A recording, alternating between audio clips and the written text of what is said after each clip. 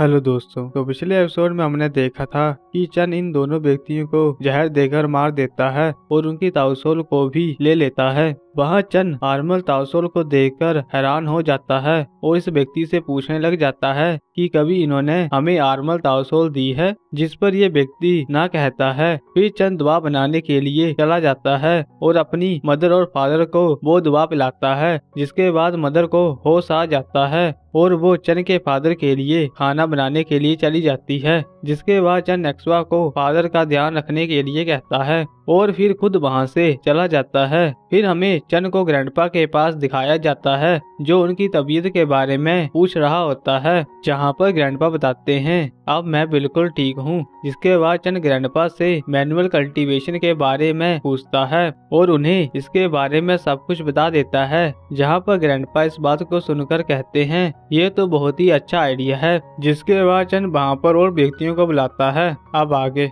तो एपिसोड की शुरुआत होते ही हमें चंद और इन सब व्यक्तियों को दिखाया जाता है। वहाँ चंद एक बॉक्स को खोलकर उसके अंदर के खजाने को, इन सभी व्यक्तियों को दिखाने लग जाता है और इन सभी व्यक्तियों को बताता है। ये सारा खजाना कुंघाई के घर के अंदर से मिला है और थोड़ा बहुत मोमिंग के घर से मिला है। मैं कल परिवार के लोगों को चुनूँगा जो हमारे परिवार के लिए अच्छे होंगे, जिसके बाद हमें बाहर का सीन दिखाया जाता है। वहाँ ये लड़की, जिसका नाम यंग वुहान होता है, वो चन को देखकर उसके पास चली जाती है और उससे पूछने लग जाती है, आज हम क्या करने वाले हैं? तो चन इन सभी लोगों को बताता है है जो व्यक्ति इसमें अच्छा करेगा, उसे बहुत सारा खजाना मिलेगा। जहाँ पर ये सभी लोग इस खजाने को देखकर हैरान हो जाते हैं। फिर वहाँ पर यंग हुआन कहती है, यहाँ पर तो बहुत सारे कॉइन्स दुआ और सोल वेपन है, जिसके बाद चन इन सभी लोगों से कहता है, जो व्यक्ति इल्ट बनेगा, उसे मैं दस हुआंग क्लास की गोलियाँ दूँगा, और दस हज़ार क्वाइन और दस दुआ दूँगा वो जिसकी ताउसोल लड़ाई वाली है तो वो इसमें से अपने लिए सोल वेपन भी ले सकता है। और अगर तुम फेल भी हो जाते हो तो तुम निराश मत होना, क्योंकि आगे जाकर इस तरह के और भी चीज़ें होंगी। फिर चन इस कंपटीशन को शुरू कर देता है और यंग हुआन को सबसे पहले जाने के लिए कहता है। वहाँ यंग हुआन इस बात को सुनकर सबसे पहले चली जाती है,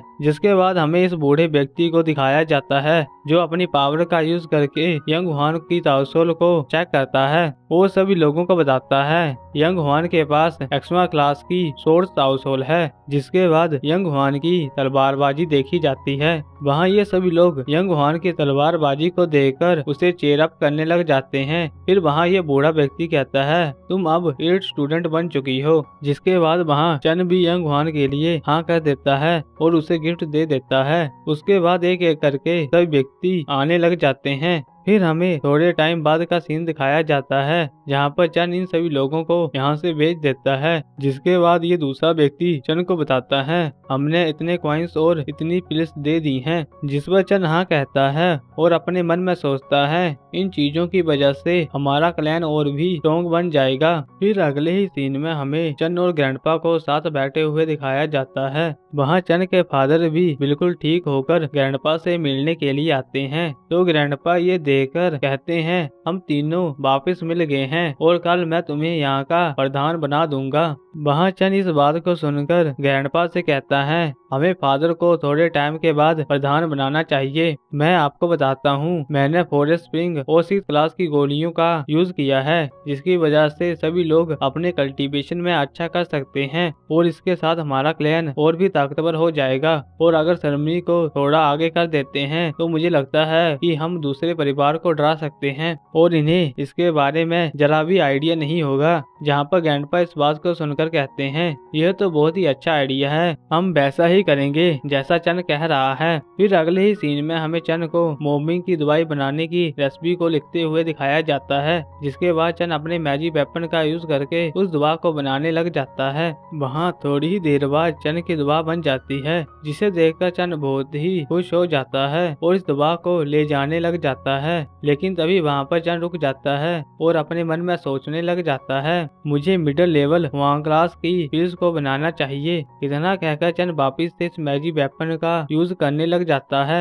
और उसके अंदर जड़ी बूटियों को डालने लग जाता है, जिसकी वजह से चन की आधी पीस वहाँ क्लास की बन जाती है और आधी रह जाती है वह चंद ये देखकर अपने मन में कहता है, मुझे अभी भी और प्रैक्टिस की ज़रूरत है ताकि मैं इन पिल्स को सही से बना सकूँ। फिर तभी वहाँ पर चन के कमरे के बाहर एक्सो आ जाती है और वो चन को बताती है, कोई व्यक्ति कह रहा है कि गोलियाँ बन चुकी हैं और उसने आपको जल्दी बुलाया है। लेकिन उसने मुझे ये नहीं बताया कि कहाँ पर आना है। जहाँ पर चंद इस बात को सुनकर हाँ कहता है और जल्दी से बांगची के पास चला जाता है। जिसके बाद हमें बांगची और चन को बात करते हुए दिखाया जाता है। वहाँ बांगची चन को बताता है, वो दवा तैयार हो चुकी है, जहाँ पर चन इस बात को सुनकर उस दवा को देखने के लिए चला जाता है और वहाँ पर जाकर अपनी पावर का यूज़ करता है, जहाँ पर चन को एक्समा क्लास की गोलियाँ मिलती है, जिसे देखकर चन बहुत ही खुश हो जाता है और बांगची को समझाता है, इन्हें बहुत ही ध्यान से बनाना और ये जब बन जाएगी तो तुम्हारी सोल भी बहुत ही ताकतवर हो जाएगी